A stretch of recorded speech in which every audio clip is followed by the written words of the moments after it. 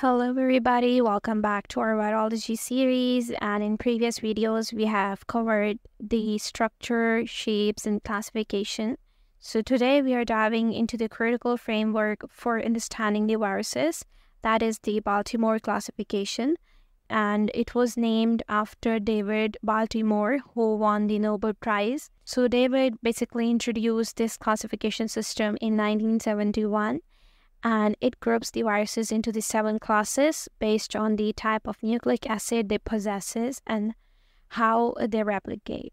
This approach helps the scientists a lot in understanding the behavior, pathogenesis, and strategies for interventions. So let's check this classification. So the class 1 viruses have the double-stranded uh, dsDNA genomes, and these viruses enter the host cell nucleus where their DNA is transcribed into the messenger RNA by the host's machinery.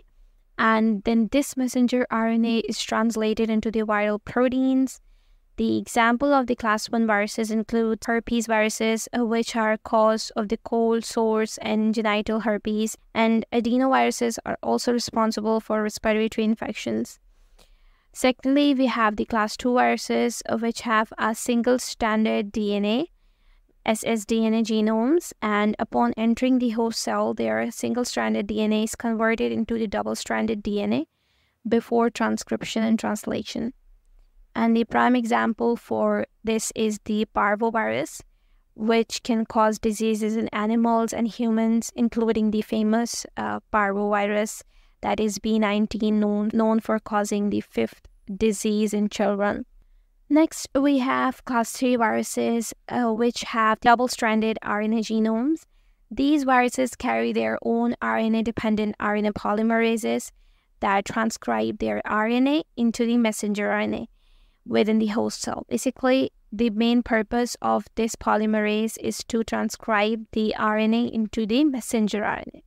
And then we have the rotavirus, as an example of RNA dependent RNA viruses which cause severe diarrhea in children. Class 4 includes the viruses that have positive single stranded RNA genomes, and their RNA can function directly as messenger RNA, which is translated by the host cell's ribosomes into the viral proteins. Example includes the coronavirus, that is responsible for diseases like COVID 19, and then we have poliovirus, which can cause poliomyelitis. The fifth class includes the viruses with negative sense single stranded RNA genomes. And these viruses first transcribe their RNA into the positive sense messenger RNA using, uh, again, using the RNA dependent RNA polymerases that is carried by the viruses on its own and the example includes the influenza virus, which causes seasonal flu. Uh, and then we have the Ebola virus, which is known for causing severe fever. The sixth class includes the viruses, are, or we can also call them our retroviruses that have RNA genomes and uh, that are reverse transcribed into the DNA by the enzyme reverse transcriptase, which they carry and the resulting DNA integrates into the host cell genome. And these are the most tough viruses, that is HIV, that can cause AIDS and is and it's the most well-known retrovirus. The next we have class 7 viruses that have double-stranded DNA genomes that replicates through an RNA intermediate, and this RNA is reverse transcribed back into the DNA by reverse transcriptase. And this includes the example of hepatitis B virus, which can cause liver infections.